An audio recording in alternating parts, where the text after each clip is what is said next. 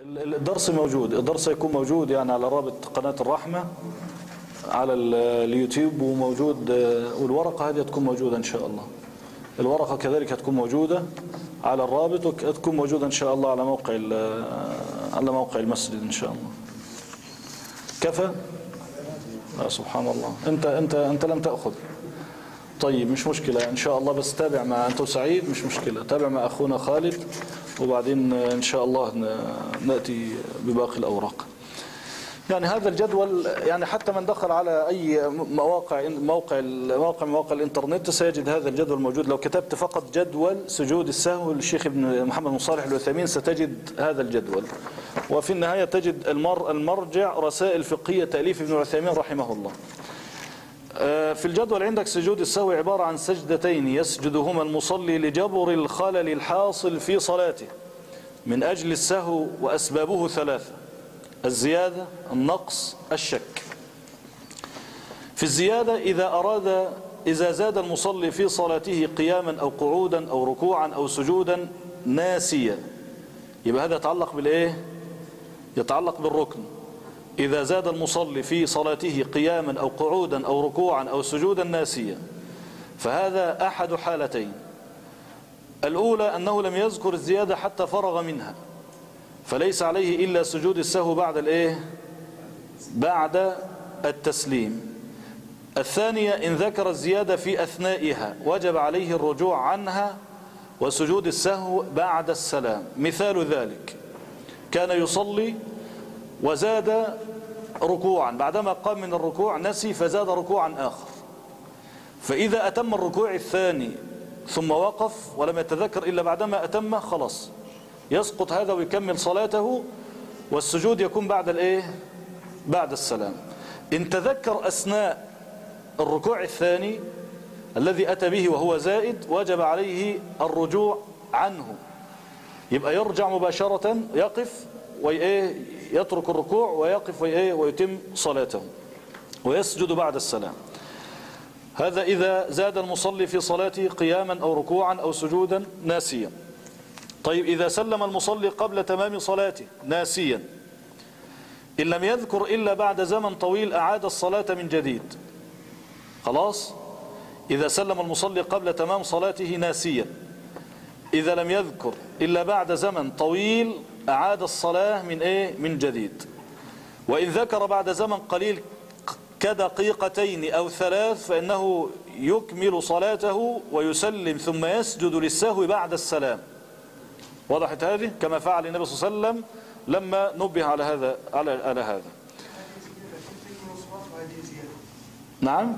كيف يكمل الصلاة وهو, في زيادة؟ كيف في زيادة؟ هو الآن لما رجع هو لما رجع. الآن هو تذ... إحنا قلنا إذا سلم المصلي قبل تمام صلاته. حاجة من اثنين إما أن يكون حصل سلم قبل تمام الصلاة صلى صلاة نقصة. وحصل فاصل طويل صلاته خلاص بطلت يعيدها من جديد. وضحت؟ الحالة الثانية. إن ذكر بعد زمن قليل كدقيقتين أو ثلاث فإنه يكمل صلاته. يعني كملها إيه؟ يعني إذا كان نسى ركعة يعني صلى ركعتين ونسى ركعتين يكمل الركعتين. ولكن نحن في باب الزيادة أيوه ما هو زيادة. إحنا الآن اسمعني بس انتظر علي. هو الآن لما هيكمل ركعتين مش إحنا قلنا إن السلام اللي حصل في النص ده زيادة ولا لا؟ وضحت طيب اصبر علينا طيب. الحالة الثانية أو السبب الثاني النقص. النقص إما يكون نقص أركان أو نقص إيه؟ واجبات يبقى نقص السنن هذا مختلف فيه.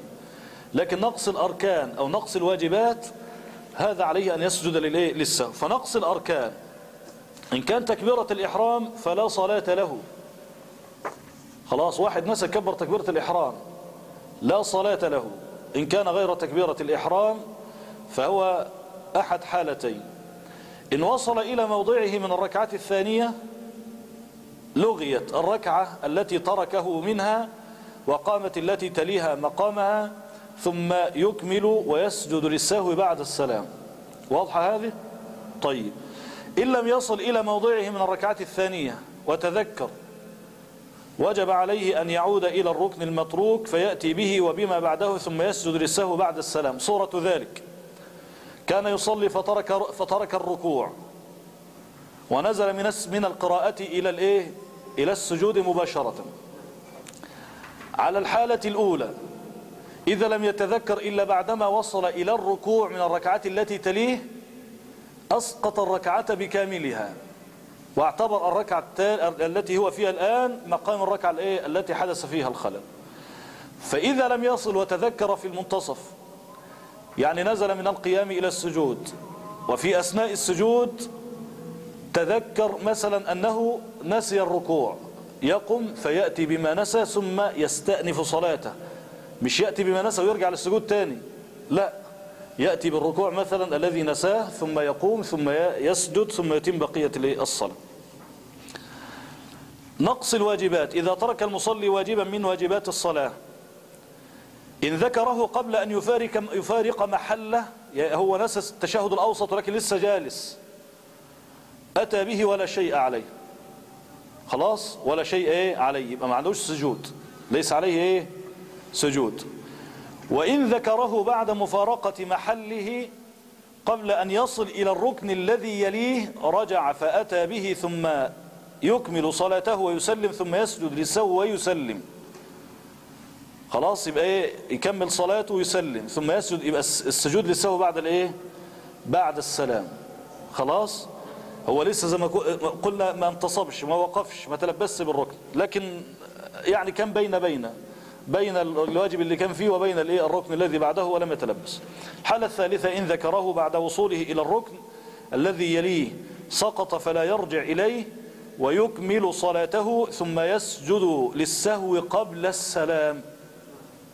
واضح هذه؟ إن ذكره بعد وصوله إلى الركن الذي يليه سقط سقط عنه إيه؟ إيه اللي يسقط؟ التشهد الواجب. خلاص سواء كان التشهد أو غيره من الواجبات. فلا يرجع إليه ويكمل صلاته ثم يسجد للسهو قبل السلام. وإن رجع إليه مخطئا وأتى به فلا شيء عليه. يكم يتم صلاته ويسجد للسهو قبل بعد السلام لا قبل السلام.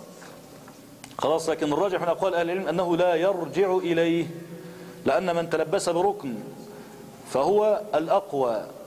لا يرجع إلى الواجب لأن الواجب أقل من الإيه؟ من الركن.